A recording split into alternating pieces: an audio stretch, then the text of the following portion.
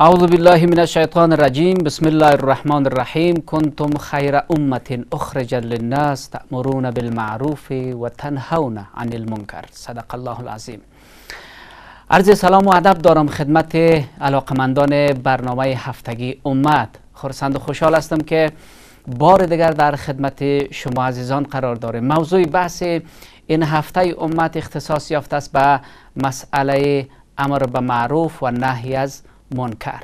اینکه امر به معروف و نهی از منکر چیست و همچنان حدود و صلاحیت های امر به معروف و نهی از منکر چی کسانی باید آمری به معروف و ناهی از منکر بوده باشند و ضعیف و مسئولیت های آمران به معروف و ناهیان از منکر. بحثی هست و پرسش هایی است که با جناب استاد عبدالحنان حازم استاد دانشگاه مطرح می‌کنیم و به بحث می‌گیریم.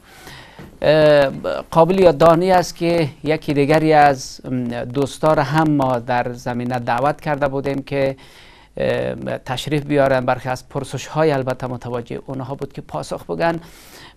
تا کنون تشریف نیاوردن. امیدوار هستم که انشالله در طول بس به ما بپیوندن. با جناب استاد حازم هستیم. استاد خوش آمدین. سلامت باشین. بسیار جد تشکر می‌کنم جناب استاد که تشریف آوردین در بحث. می‌خواستم که در بحث بحث امر به معروف و نهی از منکر از اینجا شروع کنیم که یک تعریفی از امر بالمعروف و نهی از منکر داریم. یعنی به عبارت دیگر چیستی امر به معروف و نهی از منکر بر ما بگین.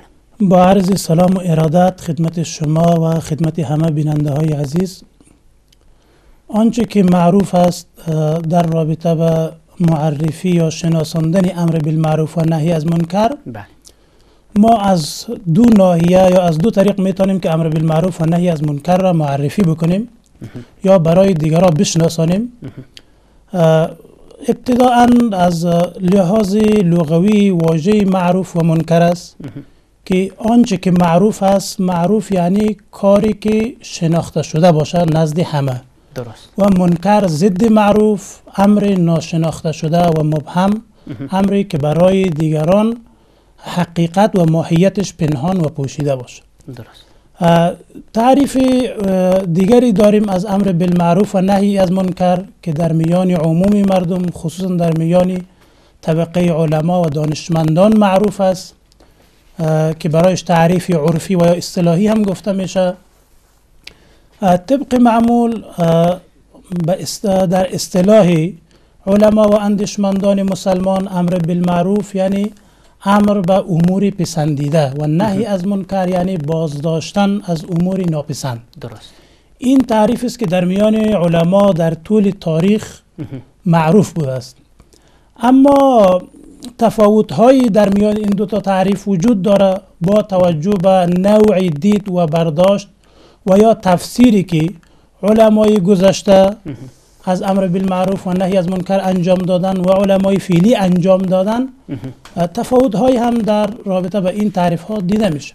علمای معاصر کوشش کردن که امر بالمعروف و نهی از منکر را که من حیث یک وجیبه دینی ما در اسلام داریم از لحاظ لغوی معنا بکنه یا معنای لغوی امر بالمعروف و نهی از منکر را تعمیم ببخشه و حدود و صلاحیت های آمران بالمعروف و ناهیان از منکر را نیز در روشنایی این تعریف توضیح بدن درست. و دیدگاه دوم این است که با توجه به مصادق امر بالمعروف و نهی از منکر که در نظر جمهوری از علما و اندیشمندان مسلمان یا در عرف آنها معروف هستند با توجه به مصادقش وظایف حدود و مکلفیت های آمرین بالمعروف و ناهیان از منکر را توضیح بدهد.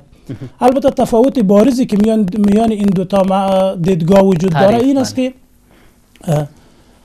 در صورتی که ما معنای لغوی امر بالمعروف و نهی از منکر را بخواهیم تعمیم بدهیم و مصادقش را طبق معنای لغوی امروز مصادق امر بالمعروف و نهی از منکر را طبق معنای لغوی تثبیت بکنیم و وظایف و, و مکلفیت های آمرین بالمعروف را طبق آن تبیین بکنیم تفاوتش اینجاست که امر بالمعروف و نهی از منکر یا خود معروف و منکر طبق معنای لغوی عبارت است از همان معروف عقلی و عرفی خب. یعنی مبنای معروف بودن یک امر و همچنان منکر بودن یک امر را عرف و یا عقل عرفی تعیین می‌کنن البته قوی ترین مستند این برداشت هم معنای لغوی معروف و منکر است. درست. که در جریان های اسلامی اولین کسی که چنین برداشت را کردن معتزله بودن. بالعکس اینها دیدگاه های دیگری هم وجود داره که با توجه به معنای عرفی و اصطلاحی معروف و منکر که منبع تعیین معروف و منکر را هم عقل و هم شرع می‌دانند. خب با توجه به این برداشت یک تعداد دیگری از علما خصوصا معتزله در طول تاریخ کوشش کردند که مسئولیت ها و یا حدود و صغور امر بالمعروف و نهی از منکر یا خود نفس معروف و منکر را با توجه به این معنا تبیین بکنه و یا برای دیگران توضیح بدهد و همچنان مکلفیت هایش را مشخص بسازد. بسیار خوب. استاد پرسش از از همو لابلای صحبت های شما مطرح کنم که شما تعریفی از امر به معروف و نهی از منکر کردین. البته از دو تا زاویه که خودتان گفتین. خب می‌خوایم که در روشنایی همین تعریفی که کردین عرف و عقل پس مصادیقی از امر به معروف و نهی از منکر با توجه به همان بحثی را که شما مطرح کردین که میشه شناسایی از در روشنایی عرف هم باشه و عقلانی هم باشه. مصادیقش پس چی می‌تونه باشه؟ مصادیق طبق دیدگاه معتزله مصادق معروف همان چیزهایی است که عقل ما یا عرف جامعه ما آن را معروف تشخیص میده. بناهن ما از لحاظ شرعی مکلف به اوامری هستیم یا به معروف هایی هستیم که این معروف ها را عقل و عرف ما تشخیص میده. ولو اینکه در بعضی از موارد ظاهر نصوص و احکام شرعی با این معروفی عقلی و شرعی در تعارض هم واقع شود در این صورت ارجحیت به آن معروفی داده میشه که توسط عقل و عرف تشخیص داده میشه. عین قضیه مسئله منکر هم منکری را اعتبار داده میشه و منکری را ما از لحاظ شرعی وظیفه و مکلفیت خود می‌دانیم که مردم را باید از آن منع کنیم که توسط عقل و عرف ما منکر تشخیص داده میشه. ولو اینکه طبقی که قبلا اشاره کردم ولو اینکه احکام ظاهری شرعی یا دلالت و ظاهر نصوص بله. بر این منکری که عقل ما اون را تشخیص داده یا عرف جامعه ما مخالف هم باشه باز ما ارجحیت را به اون تشخیص عقل و عرف میدیم. درست. اما از لحاظ شرعی گروهی که بر این باور است که گویا منبع تشخیص معروف و منکر هم عقل است و هم عرف بناهن معروف و منکر دانستن یک امر را وابسته میدانه به تایید عقل و شرع. یعنی هم باید عقل تایید بکنه که این انجام دادن این کار منکر است و هم شرع ما نصوصی در اون زمینه داشته باشیم که انجام آن کار, از آن کار را از جمله منکرات دانسته باشه. پس در این صورت با این دو تا برداشت متفاوتی که در طول تاریخ از مصادیق معروف و منکر داشته ما مصادیق در جامعه امروزی هم می‌تونیم مصادیق معروف و منکر را تشخیص بدیم. با توجه به این فرموده شما پس مثلا تنها توجهی بیشتر به مسائل عبادی و محرمات در دایره وظایف و صلاحیت ها یا امر به معروف و نهی منکر شمرده نمیشه. مثلا چیزهای دیگر هم از لحاظ اجتماعی داریم مثلا مثل ساختن مکتب دانشگاه جاده ساختن سرک ساختن شفاخانه ساختن و همچنان خدمات اجتماعی ارائه کردن. مثلا فصل سرماس باید به کسانی که بینوا و فقیر هستند به اینا باید لباس و غذا باید برسانه. امثالی از اینا هم میشه که خدمات و فعالیت های اجتماعی را در دایره امر به معروف و نهی از منکر امر به معروف البته بگنجانیم. دقیقا طبق این دو تا برداشتی که در طور تاریخ از مصادیق امر بالمعروف و یا نهی از منکر وجود داره. موضوعاتی که شما اشاره کردین هم از لحاظ عقلی چی ما دلالت واژه و یا کلمه معروف و منکر را دلیل بگیریم طبق این تفسیر حکم بکنیم و یا طبق تفسیر عرفی که نزد علما و دانشمندان خصوصا نزد فقها و نزد علمای اهل کلام وجود داره. طبق هر کدام اینها که فکر بکنیم این موضوعات و مسائلی را که شما تذکر دادین از جمله مصادیق معروف محسوب کرده میشه. همچنان مبارزه با منکرات با مثلا مبارزه با فساد اجتماعی مثلا فساد سیاسی و امثال از اینها هم. میشه در دایره منکر بگنجاند بله دقیقا اینها هم از جمله مصادیق منکر محسوب میشه. نکته دیگر را که خدمتتان عرض شود این است که طبق برداشت سنتی محدودیت های حریم خصوصی خیلی محدود بوده. حریم خصوصی طبق برداشت و تفسیر سنتی که ما از امر بالمعروف و نهی از منکر داشتیم خیلی محدود بوده. اما بالعکس حوزه عمومی بسیار وسیع بوده. در حالی که در جوامع امروزی ساحه حریم خصوصی هم بسیار توسعه پیدا کرده. و همچنان حوزه عمومی توسط وضع و تصویب قوانین مکلفیت ها و مسئولیت های افراد مشخص شده. بنابراین امروز ما در حوزه عمومی بیشتر نیاز به امر به معروف و نهی از منکر نداریم. چون در حوزه عمومی تمام موضوعاتش توسط قانون. مشخص شده. و حالا از اگر کسی کاری خلاف قانون را انجام میده از لحاظ قانونی به او برخورد میشه. اما در بیشتر امروز از مصداق امر بالمعروف و نهی از منکر برمیگرده به حریم خصوصی بله. که در جامعه امروزی حریم خصوصی خیلی وسعت پیدا کرده. بناهن کاربرد امر بالمعروف امروز بسیار کم شده. طبق برداشت جدید. اما طبق برداشت سنتی هنوز کاربرد و یا ساحه تطبیق امر بالمعروف و نهی از منکر با اون وسعت و گستردگی خود چه در حریم خصوصی چه در حریم در حوزه عمومی هنوز باقی است. به همین خاطر هم هست که امروزه یک سلسله سوء تفاهماتی در رابطه به انجام مسئولیت امر بالمعروف و نهی از منکر به وجود آمده بسیار خوب. در آیتی هم هست که قرآن کریم امت اسلامی را نسبت به امت های گذشته یا مسلمانان را نسبت به ادیان و مکاتب گذشته برتر میشماره به دلیل از اینکه اینا آمرین به معروف و ناهی از منکر هستند. پرسشم از شما این است که پس وقتی که اگر چنین یک تعریفی از امر به معروف بکنیم که هم در دایره عمومی گنجایش نداشته باشه و هم در دایره خصوصی صلاحیت ها و وظایف یک مقدار محدود شوه نسبت به تعریفی که امروز کردین. شما پس این امر به معروف و نهی از منکر در کجای کار یک جامعه اسلامی می‌تونه که تطبیق شود در این شک نیست که امر بالمعروف و نهی از منکر یک اصل عمومی در شریعت اسلامی محسوب میشه. نه. اگرچه که سایر علما و دانشمندان در مکاتب کلامی خصوصا ماتوریدیه و معتزله. و همچنان در مکتب اهل حدیث و اهل ری.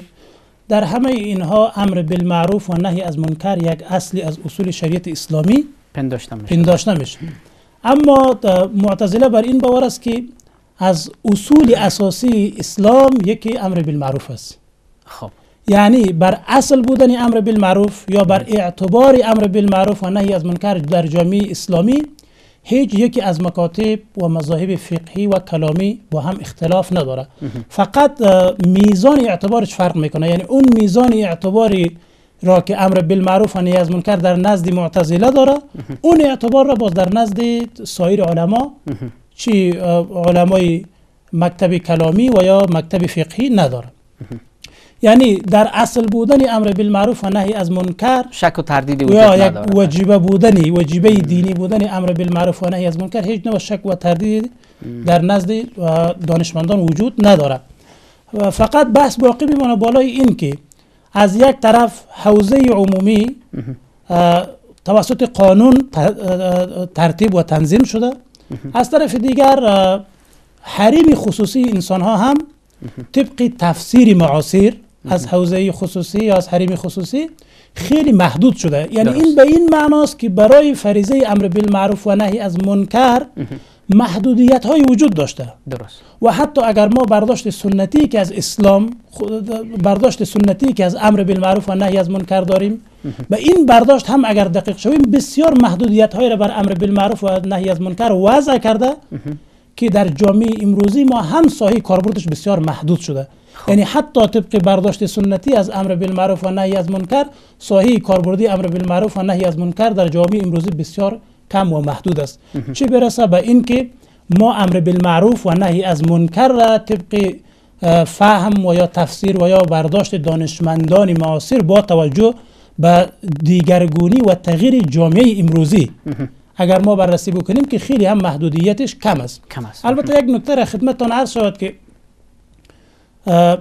محدودیتی که برای امر بالمعروف و نهی از منکر توسط دانشمندان معاصر وضع شده این محدودیت با توجه به دیگرگونی که بر جامعه امروزی وارد شده وضع شده. خب. به همین خاطر ساحه امر بالمعروف و نهی از منکر ساحه کاربردش بسیار محدود شده. محدود است. خب پس بیام سر یک چیزی دیگه هم پرسان کنیم که نقش امر به معروف و نهی از منکر شما در آوردن اصلاحات اجتماعی. با توجه به تعریفی هم که شما کردین چگونه ارزیابی می‌کنن؟ چقدر این مثلا نقش داره که اصلاحات به وجود بیاد؟ طبیعی که انسان یا بشر به عنوان انسان جایز الخطا است مشکلاتی وجود داره بخصوص در کشورهای عقب مانده مثل ما و شما که نه قانون در اینجا تطبیق میشه وجود داره و نه هم مثلا وعظ و نصیحت و اخلاق چندان در نظر گرفته نمیشه و یک حالتی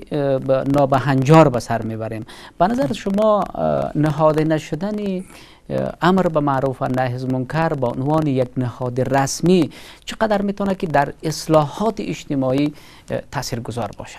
قبل از اینکه من با جواب اصل سوال شما بپردازم یک نکته را خدمتتان عرض کنم که ما در تاریخ اسلام و یا در نصوص دینی بله. هیچ نص و یا دلیلی نداریم که وابسته شد دانستن جامعه حکومت اسلامی بر نهادی باشه که اون بر نهاد امر بالمعروف و نهی از منکر باشه. یا اصلاح صد درصدی جامعه اسلامی وابسته دانسته شده باشه به ایجاد و تأسیس نهادی به نام امر بالمعروف و نهی از منکر. تمام علما به جز از معتزله تمام علما بر این باور است که امر بالمعروف و نهی از منکر مسئولیت عمومی مسلمان هاست. ما نمی‌تونیم که حوزه کاربرد یا حوزه مسئولیت پذیری امر وجبه امر بالمعروف و نهی از منکر را اختصاص بدهیم بر یک نهاد مشخص بر یک گروه مشخص یا بر افراد مشخص. درست. به این معنا امر بالمعروف و نهی از منکر یک وجبه عمومی است. بر هر مسلمان هم از مرد و زن فرض است که زمانی که منکری را می‌بینه که کسی منکری را مرتکب میشه باید از منکر منع بکنه. یا در جایی می‌بینه که معروف ترک شده باید امر به آن معروف بکنه. یعنی ما از لحاظ شرعی و دینی هیچ دلیلی بر مشروعیت و یا بر دینی دانستن چنین نهادی نداریم. اما از ناحیه دیگری حکومت های حکومت ها خصوصا حکومت های اسلامی طبق مسلحت و مقتضیات زمان به خاطر اصلاح بیشتری افراد جامعه و افراد جامعه می‌تونه که چنین نهادهایی را تأسیس بکنه و این مسئولیت یک قسمتی از این مسئولیت ها را بله. واگذار بکنه بر افرادی تحت به افرادی که تعلق داره به نهاد امر بالمعروف و نهی از منکر. یعنی از این لحاظ از لحاظ مسلحتی که مسلحت ایجاد بکنه و حکومت اسلامی این را تقاضا بکنه حاکم اسلامی چون این امر را بخواه از, از این لحاظ مشکل نداره و با توجه به این پیش فرضی که خدمتتان عرض کردم امر بالمعروف و نهی از منکر می‌تونه که در اصلاح افراد و جوامع مؤثر واقع شود. بله. چون ما یکی اصلاح افراد و جوامع را داریم از لحاظ توصیه ها و ارشادات شرعی و اخلاقی. و بخش دومی از اصلاح فرد و جامعه برمیگرده و تطبیق قانون و مکلفیت های حقوقی و اجتماعی. که دقیقا که قبل از اینکه ما قانون را بر یک کس تطبیق بکنیم یا منکری را که مرتکب شده معروفی را که ترک کرده و آن شخص را راجع بسازیم به نهادهای عدلی و قضایی از لحاظ حقوقی مورد بحث مورد بازرسی قرار بدهیم. اگر پیش از این ما به ارشاد و توصیه بپردازیم در این شک نیست ارشاد و توصیه تأثیر و نقش خود نقش بسازای خود داره و این یکی از وسایل و اسباب اصلاح فرد و جامعه محسوب می شود دوباره برمیگردم. بینندگان عزیز میان برنامه کوتاه داریم. سلام مجدد عرض می‌کنم خدمت بینندگان عزیز. شما بیننده برنامه امت از طریق شبکه تلویزیونی نور هستین. یک حدیثی است پیامبر خدا صلی الله علیه و سلم میگه که من را منکم منکرا فلیغیره بیده فین لم یستطیع فبلسانه فین لم یستطیع فبقلبی و ذلك اضعف الایمان.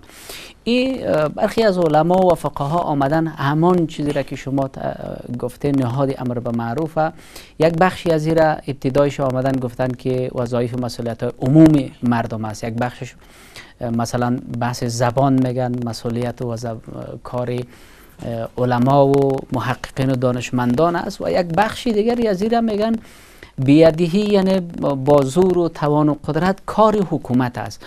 آیا چنین تفسیری هم از این حدیث نمی‌تونه بر مبنای از یک نهادی را به نام امر به معروف و نهی از منکر با توجه به همین برداشت بسازن و این هم زمینه شود بود اجرایی هم به خود بگیره در این شک نیست که یک تعدادی از علما خصوصا محدثین زمانی که این حدیث را تفسیر می‌کنن به خاطر که مصداق عینی بر این حدیث پیدا بکنن و همچنان از ایجاد حرج و مرج ایجاد حرج و مرج احتمالی که بله. فرض کنیم که اگر هر فرد با استفاده از قوه قهری و یا از قوه فیزیکی مانع منکر شود با وجود چنین احتمال آمدن این حدیث را چنین تفسیر کردن و این تفسیر هم تا جای معقول است اما مصداق عینی این حدیث که هر فرد این صلاحیت را داره که در رابطه به نهی از منکر بله. با توجه به این سه مرحله که پیامبر علیه السلام در این حدیث ذکر کرده بله. افراد هم این حق را داره که در صورتی که منکر از امور است که ضرر جسمی و یا مالی برای افراد میرسانه و این منکر در حال اجرا هم هست. این از ضرر و زیانش متعدی باشه. متعدی باشه بر دیگران برسن به حقوق افراد و اشخاص دیگری. تجاوز بکنن. در این صورت افراد هم این حق را داره که با دست خود مانع وقوع چنین منکر و چنین ضرر شود. از با توجه به این تفسیر و یا توضیح ما می‌تونیم بگوییم که حتی مصداق این حدیث نهاد موجودیت نهاد امر بالمعروف و نهی از منکر هم شده نمی‌تونه. پس اگر چنین صلاحیتی را به فرد بتیم که با توجه به همین حدیث هم که شما با اشاره کردیم به تفسیرش پرداختن یک سری از مشکلات و جنجال ها را در پی دارد. طبیعی که مثلا یک نفر که یک منکری را انجام میته در ملایام و و یا که ضرر و زیانی از او بعدا متعدی باشه یک فرد عادی اگر مانع از او شود ممکن است که با پرخاش جنجال به انجامه. پرخاش جنجال به انجامه که این به خشونت منجر شود یعنی نهی از منکر به منکری کلانتری تبدیل شود از نظر اقلانی باز با چی نو رفتاری باید صورت بگیره. حالا این احتمالی که بر دادن این صلاحیت بر افراد به وجود میاد؟ این این احتمال با دادن صلاحیت با نهاد امر بالمعروف و نهی از منکر هم به وجود میاد. یعنی عین این که اگر یک شخص با دست خود مانع وقوع یک منکر شود سبب بله، بله. احتمال داره که سبب نزاع و جنجال بزرگتر شود. عین این احتمال بر این هم وجود داره که فردی و یا شخصی که مسئولیت پذیرفته از طرف نهاد امر بالمعروف و نهی از منکر از طرف چنین شخصی هم اگر چنین منع صورت می‌گیره این احتمال وجود داره که چنین این منع سبب این منع سبب وقوع منکری بزرگتر از او شاید. در این صورت این احتمال هم بر مسئول امر بالمعروف و نهی از منکر وجود داره و هم بر شخص واحدی که استاد پرسان دیگر از اینجا شروع کنم. از شما که با توجه به چی گفتین یعنی وظایف و مسئولیتی عمومی مردم است که باید امر به معروف و نهی از منکر کنه و در یک تفسیر دیگه هم که یک قشر خاصی هم می‌تونه که چنین وظایف و مسئولیت های را بر عهده بگیرن پس چی کسانی باید اه، آمرانی به معروف و ناهیانی از منکر بوده باشند؟ یعنی چه خصوصیت هایی باید اینا داشته باشند و چی ویژگی هایی داشته باشند که با توجه به همین ویژگی ها و خصوصیات اینا واجد شرایط امر به معروف و نهی از منکر شوند. ویژگی ها و خصوصیت هایی را که آمر بالمعروف و ناهی از منکر باید داشته باشه با توجه به تفسیرهایی که از امر بالمعروف و نهی از منکر شده متفاوت است. خب. یک نکته قبل از توضیح این مطلب خدمتتان عرض کنم که امر بالمعروف و نهی از منکر بله. قسمی که در آیات و احادیث زیادی یک وجیبه اسلامی و انسانی برای انسان ها خصوصا برای مسلمان ها پنداشته شده. با توجه به این مسئولیت خصوصا آیه ای که خداوند میفرماید ولتکن منکم امتا یدعون بالخیر و یأمرون بالمعروف و ینهون عن المنکر. با توجه به این آیه برداشت یک تعدادی از علما بر این است که مکلفیت امر بالمعروف و نهی از منکر برمیگرده به یک بخشی از امت. همین کلمه خیر امت ولتکن منکم امتا اه، یأمرون بالمعروف و ینهون عن المنکر. حالا در اینجا کلمه من ذکر شده یک تعداد از علما بر این باور است که این کلمه من برای تبعیض است. بناهن اه، مسئولیت امر بالمعروف و نهی از منکر برمیگرده به یک بر یک خاص. بخشی از امت و یا بر یک بخشی از یک جامعه. درست. که کسانی که طرفدار این است که در جامعه اسلامی یا خصوصا در حکومت اسلامی باید نهادی به نام امر بالمعروف و نهی از منکر وجود داشته باشه قوی ترین مستند و دلیلشان همین آیه و این برداشت از آیه هست. من تبعیض. مینی تبعیضیه. درست. اما گروه دیگری از علما بر این باور است که این مینی که در آیه ذکر شده برای تبیین است نه برای تب- تبعیض. بله. یعنی مع- معنای آیه در این صورت چنین میشه که باید شما باشین امتی که مردم را امر کنین به معروف و معروف و. نهی کنین از منکر. با توجه به تفسیری با این دو تا تفسیری که از این آیه شده دیدگاه اول یا گروه اول بر این باور است که مسئولیت امر بالمعروف و نهی از منکر برمیگرده به یک بخشی از امت. درست. که اینها دارای یک سلسله شرایط خاص خود هستند. چه شرایطی دارد مثلا؟ و یک گروه دیگری از گروه دومی یا تفسیر دومی بر این باور است که امر مسئولیت امر بالمعروف و نهی از منکر برمیگرده به عموم مسلمان ها خب. البته چی مسئولیت را عمومی بدانیم و چی؟ مسئولیت را خصوصی بدانیم؟ کسی که امر بالمعروف و نهی از منکر می‌کنه حد اقل باید دارای چهار تا شرط باشه. یعنی چهار تا اصل را باید رعایت بکنه تا ای که این شخص واجد شرایط امر بالمعروف و یا نهی از منکر کننده قرار بگیرد شرط اول این است که کسی که مسئولیت امر بالمعروف و نهی از منکر را قبول می‌کنه و میپذیره و خود را در قبال انجام منکرات مسئول میدانه و باید من حیث یک مسئولیت شرعی مانع وقوع منکرات شود اولین شرطش این است که باید به منکر بودن آن شی و یا آن عمل علم داشته واقف باشه. باشه بله علم داشته باشه. اگر علم نداشته باشه بناهن مسئولیت دینی هم نداره. چرا؟ در این صورت امکان داره که این شخص به عوض امر بالمعروف و نهی از منکر أمر به منکر و نهی از معروف بکنه. چون شناخت و علم چون شناختی از معروف از مصادیق معروف و منکر نداره. بناهن اولین شرطی از أمر بالمعروف و نهی از منکر علم است. علم داشتن است. درست. دوم این است که کسی که أمر بالمعروف و نهی از منکر میکند باید آه، برای این شخص احتمال قوی م- محرز شود که آه، أمر بالمعروف و نهی از منکرش تأثیر داره. خب. اگر این احتمال برایش محرز نشود آها. بناهن امر بالمعروف و نهی از منکر برایش یک وجیبه دینی هم محسوب کرده نمیشه چون در این صورت احتمال داره که به عوض تأثیر مثبت تأثیر منفی بگذاره. قسمی که قبلا هم شما اشاره کردین در این صورت احتمال داره که امر بالمعروف و نهی از منکر نمودن سبب وقوع منکری بزرگتر شود. به این خاطر داشت اه، محرز شدن احتمال قوی مبنی بر اینکه امر بالمعروف و نهی از منکر. در این مورد مؤثر واقع میشه. یکی از شرایط امر بالمعروف و نهی از منکر است. بله. شرط دیگری که امر بالمعروف و نهی از منکر کننده باید واجد این شرط باشه یا دارای این شرط باشه این است که امر بالمعروف و نهی از منکر چیزی که مورد چیزی که مصداق امر بالمعروف و نهی از منکر قرار می‌گیره و باید از آن من حیث منکر منع شود یا من حیث معروف به او امر کرده شود چون این چیزی باید از لحاظ منکر و معروف بودن خود اختلافی نباشه اتفاقی باشه. یعنی تمام علما بر معروف و منکر بودن آن چیز اتفاقی نظر داشته باشه. یعنی اجماع ما صورت گرفته باشه برو در صورتی که این امر اختلافی باشه امر بالمعروف و نهی از منکر هم بر آن درست نیست. درست. چون احتمال داره که طبق یک تفسیر و برداشتی انجام چنین کاری منکر تلقی شود. اما طبق تفسیر و برداشت و فهم دیگری انجام این کار منکر که نی مصداق عینی معروف تلقی شود. بله. ما چنین مواردی در تاریخ اسلام داریم. از این جهت امر بالمعروف و نهی از منکر کننده باید چیزی را که امر بالمعروف و نهی از منکر را در اون رابطه انجام میده. قطعا باید در اتفاقی بودن معروف و منکرش باید علم و آگاهی داشته باشه.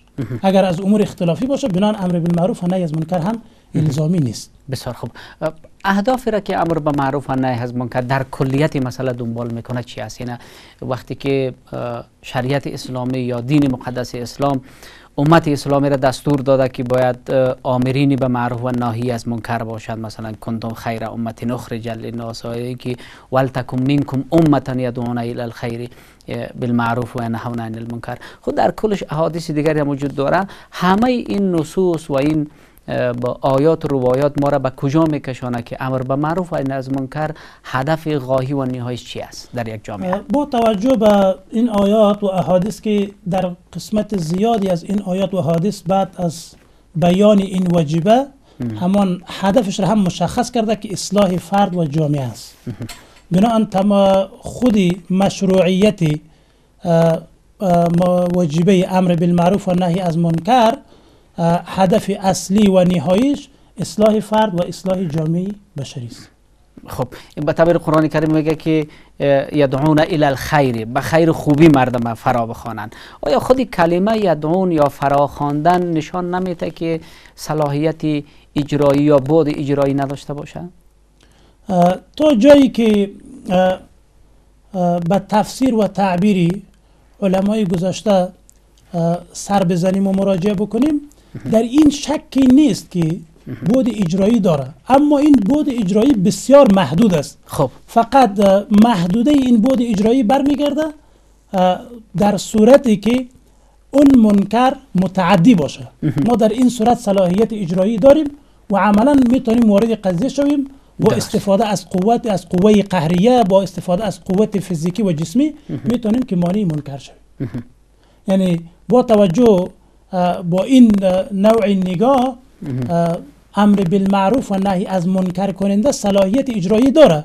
اما صلاحیت اجرایش محدود است. خب خب. محدود که من نهی از منکر و یا امر بالمعروف توسط بد برد خصوصا نهی از منکر توسط بد بردن قلبی و یا توسط منع کردن شفاهی امکان نداشته باشه.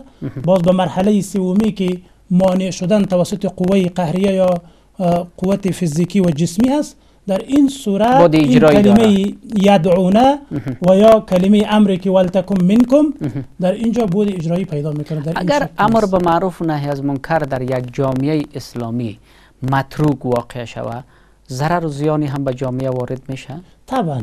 معلوم است که قسمی که قبلا خدمتتان عرض کردم که اولین مرحله اصلاح فرد برمیگرده به ارشاد به توصیه به نصیحت. درست. که قطعا این مرحله بدون ادای واجبه امر بالمعروف و نهی از منکر امکان پذیر نیست و مرحله دوم اصلاح فرد و یا اصلاح جامعه برمیگرده به تطبیق قانون.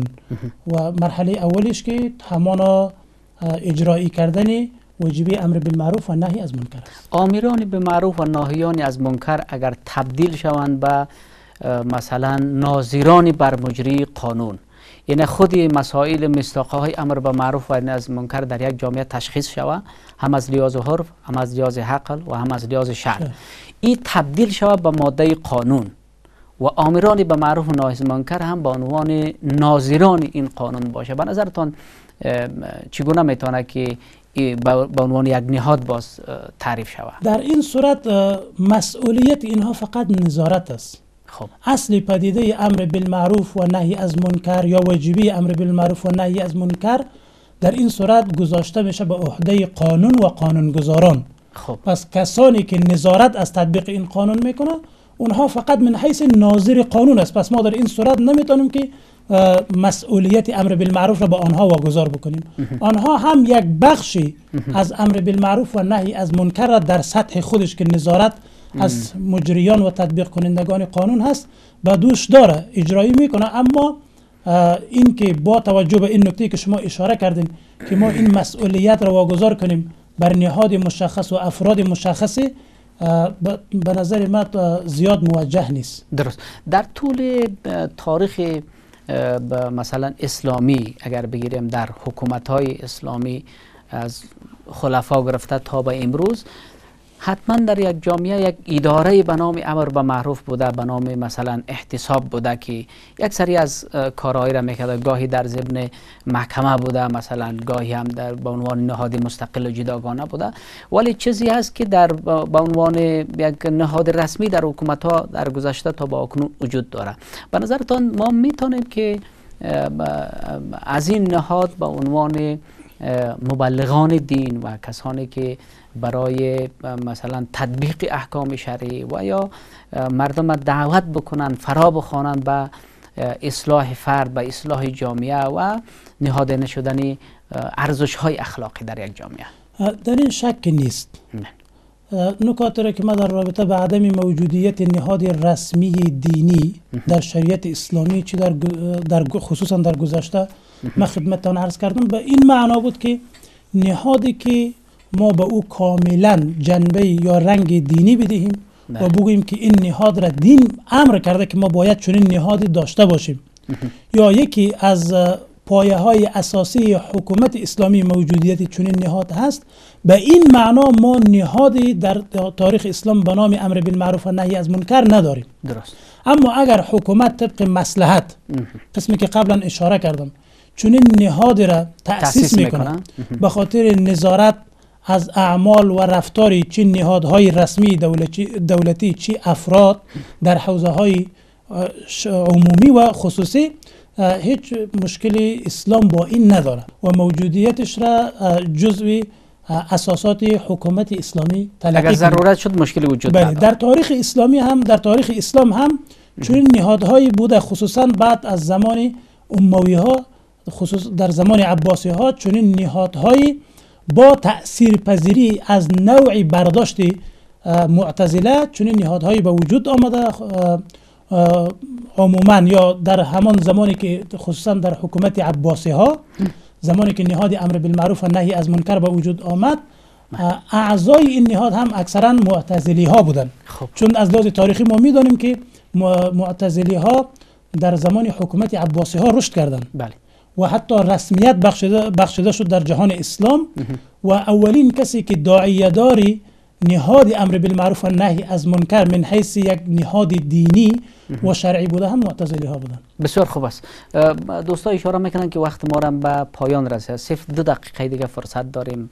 بحث جمع بندی می‌کنن و یا ای که اه، کدام بحث دیگری که در پرسش ها مطرح نبود نشده و لازم است که گفته شود در خدمت شما هستیم. اه، یک نکته مهم خیلی که نکته که خیلی مهم است و در پرسش های شما هم اشاره به آن نشد. موضوع منکر است. زمانی که ما میگیم که امر به معروف و نهی از منکر خود منکر هم یک سلسله شرایط داره.